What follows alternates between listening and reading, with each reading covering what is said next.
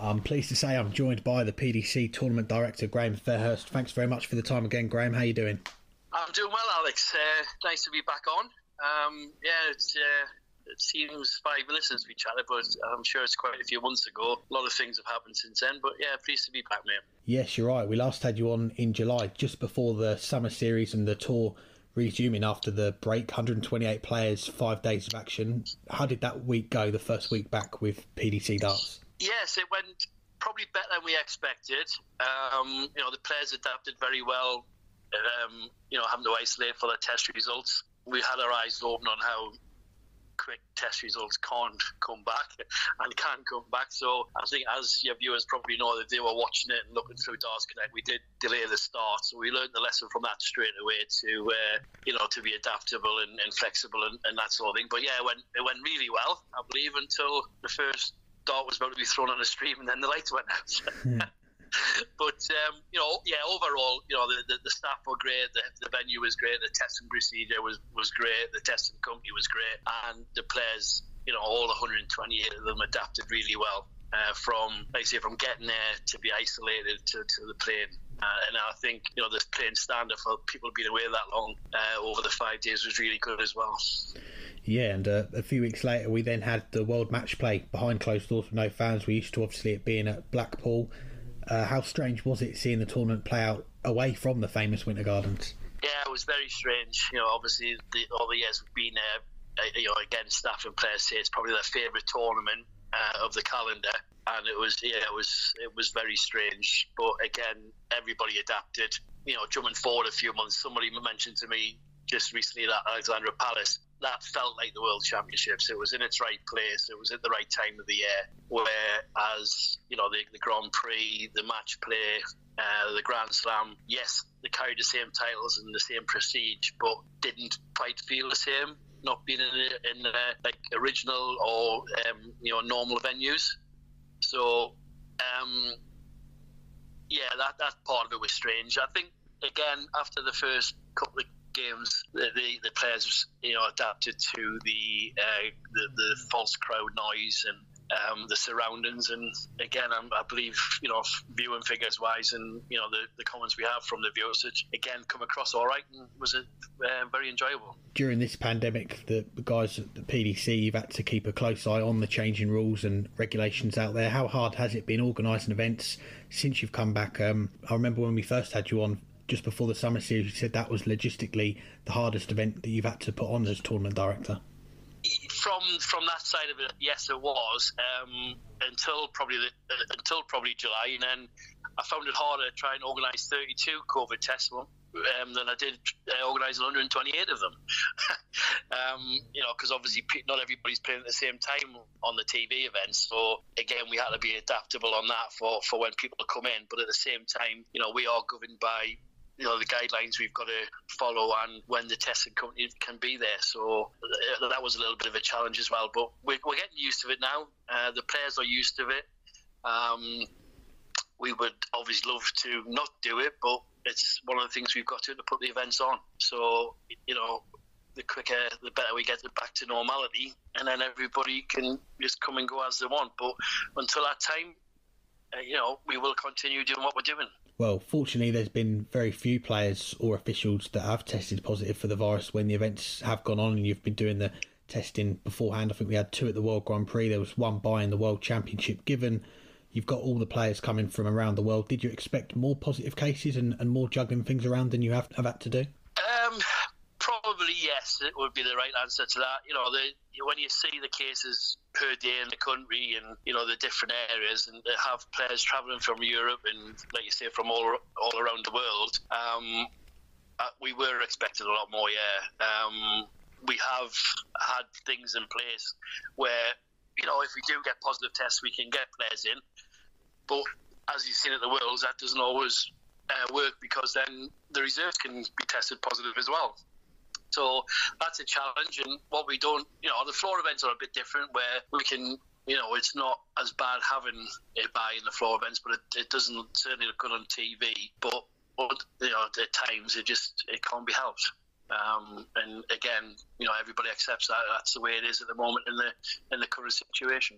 Well, let's look ahead then to 2021. We've got some listener questions coming up as well, but a lot of questions about Q School, which is coming up two weeks on Monday. Firstly, the change in the format. We've got the two stages.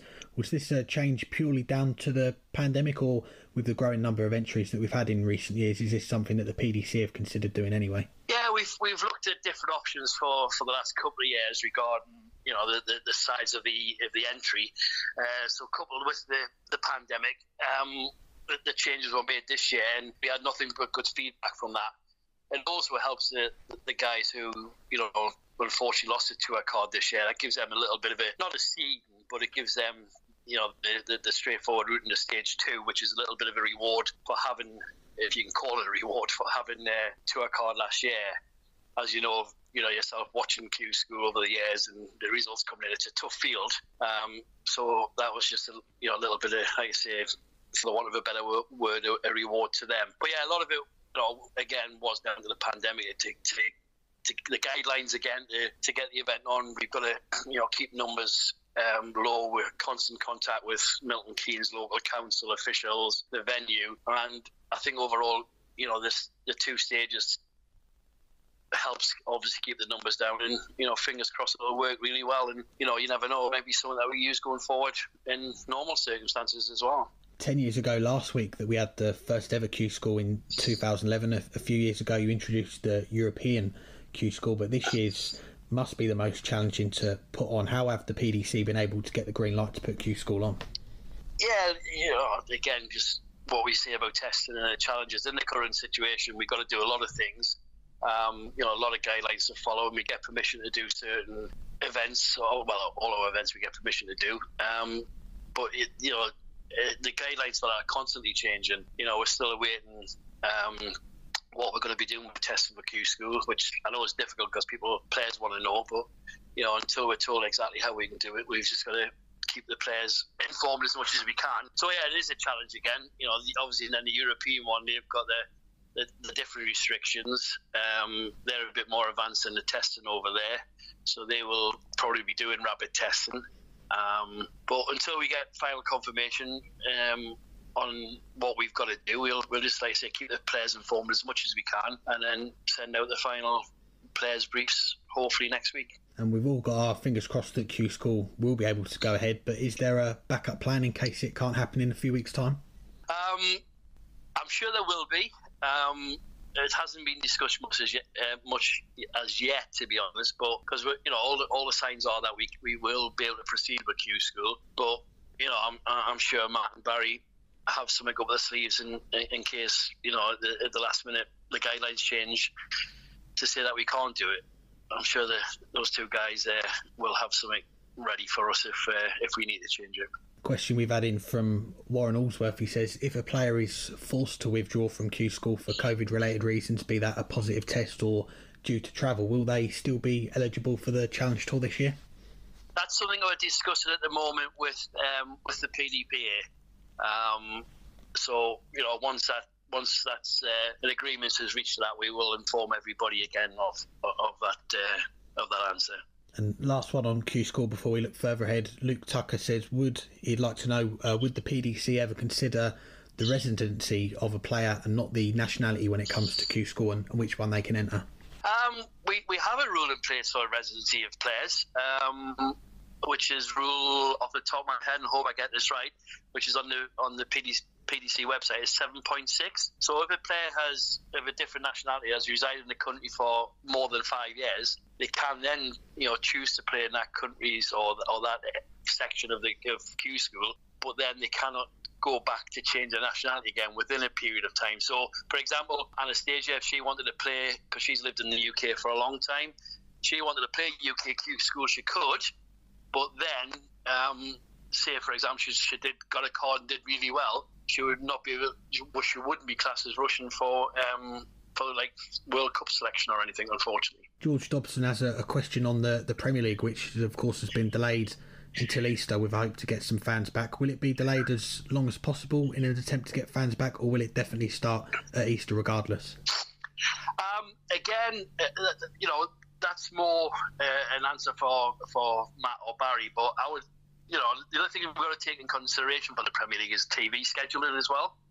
you know, we do have TV contracts, um, and they can't just, you know, a lot of TV, obviously, especially the sports channels, can't just move things around because that's, that's much, there's that much sport going on. But yeah, we, you know, we'll, we, I think the plans are in place to, you know, keep it um, on hold for as long as possible, uh, with all circumstances being taken into consideration.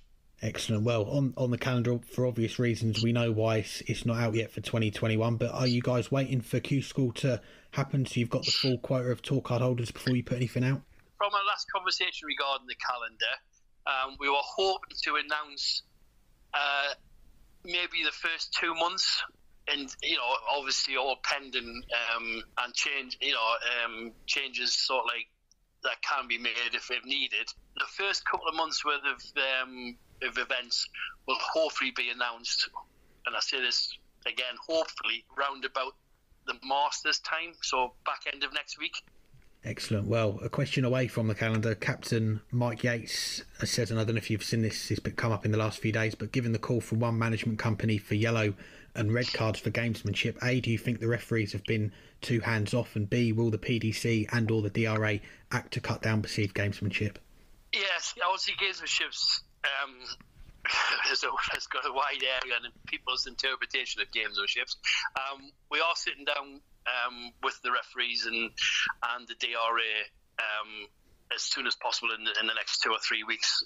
Um, you know, obviously via Zoom, and we'll be looking into this um, and see, you know, what we can do and what are the. We do have in place sanctions, which again some people may not be aware of.